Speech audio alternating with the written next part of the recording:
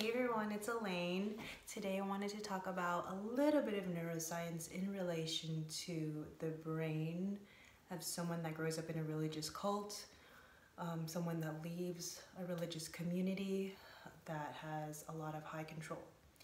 So what I wanted to discuss in relation to the brain of someone that grows up in a religious cult is how family members can manage their expectations and how they can you know, be able to meet their family members where they are with the knowledge that I'm about to present to you.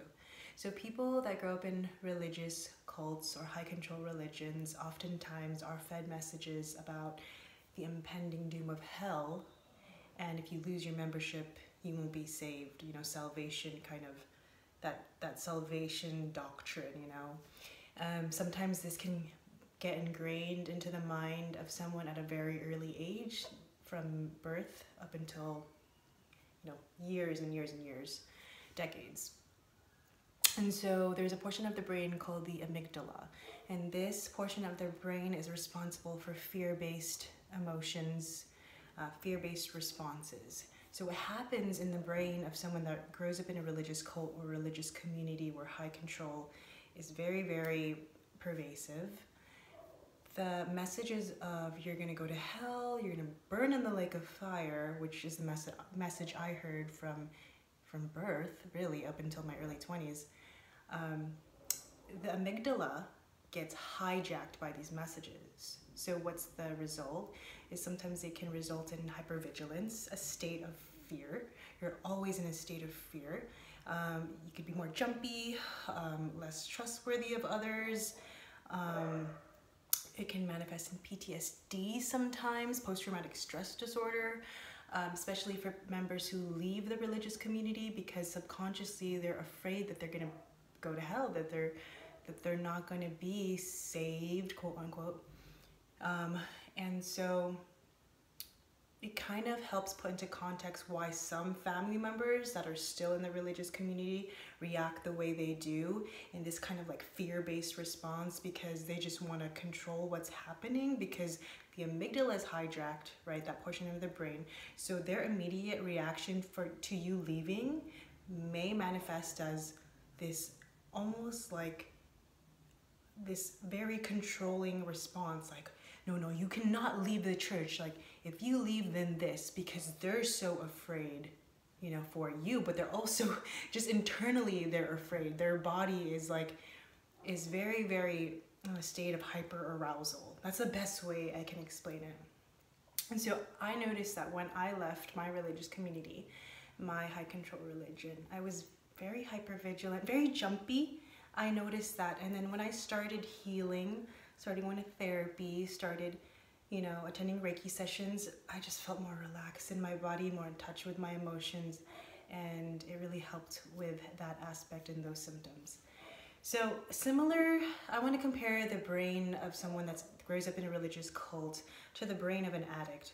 When the brain of an addict, their um, reward system gets hijacked because of the drug they're taking. So for example, if it's nicotine or alcohol or cocaine, whatever it is, right?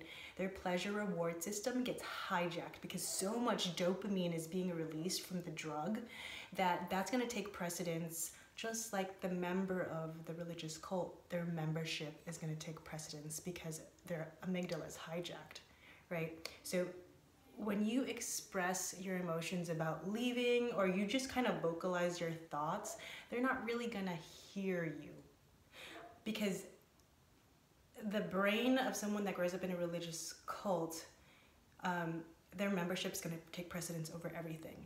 Even their, their, their family relationships, even the relationship with their daughter, their son, you know, that's going to take precedence. And that's what's really tragic about the situation is because the person, whether it's the daughter or the son or whoever the, the person is that's leaving the religious community or the cult, their needs, their emotional needs aren't going to be tended to, you know, and that can cause relational wounds. It can cause rejection wounds. It can manifest in anxious attachment. So when that individual grows up and starts to form romantic relationships, they can be very anxious because their parent wasn't present for them during those times where they express themselves because the parent or whoever the religious person was, whoever the member was in the family wasn't attuned to them because what took precedence was their membership because of the amygdala hijacking. Similar to the brain of an addict, the dopamine dopamine reward system is taken over. So they're not going to be as present for their partner or their friends because that the the drug is going to take precedence. I hope this explanation made sense. Um, it kind of helps you put things into context when speaking to family members in a religious that are still in your the religious cult or the religious community so you can kind of lower your expectations. I know it doesn't take the pain away. It doesn't really soothe the pain, but it can help, kind of help you manage your expectations about how they're going to respond and kind of come to terms with it. Like you're not going to have that that response that you want sometimes because of to put it plainly the, the amygdala hijacking and that physiological process that occurs because of the